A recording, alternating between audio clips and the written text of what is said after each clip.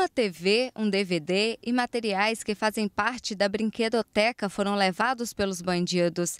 Eles também invadiram o refeitório da escola. Segundo a diretora da instituição de ensino, os produtos que são utilizados para fazer a merenda dos alunos foram levados. A geladeira destruída. O que havia no eletrodoméstico, por alguma razão, não foi levado. Mais de 15 quilos de carne estavam espalhados pelo chão do refeitório. Eles não conseguiram chegar na nossa secretaria da escola. Mas entraram na biblioteca, levaram coleções nossas, DVD, som, é, micro-ondas, é, vários materiais.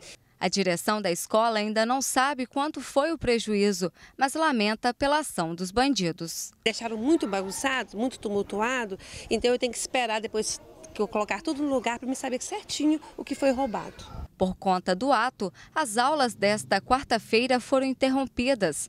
Muitos pais de alunos retornaram com as crianças para as casas. Mais de 180 alunos ficaram sem escola. São crianças que dependem totalmente da escola para que os pais possam trabalhar, para que os pais possam trazer o, sustento para dentro de casa e chegar aqui de manhã e encontrar essa, essa realidade aqui, eu particularmente eu tô até um pouco emocionado porque a gente precisa disso aqui. E a dedicação aqui, o comprometimento aqui é total, o amor é imenso com as crianças e encontrar essa realidade faz com que a gente fique muito revoltado.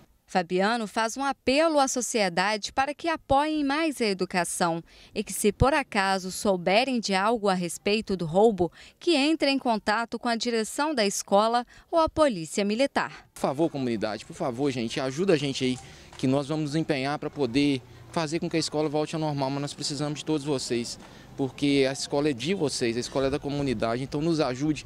Qualquer informação, entre em contato, porque a escola depende da mobilização de todos nesse momento para voltar a ter condições de atender né, as crianças.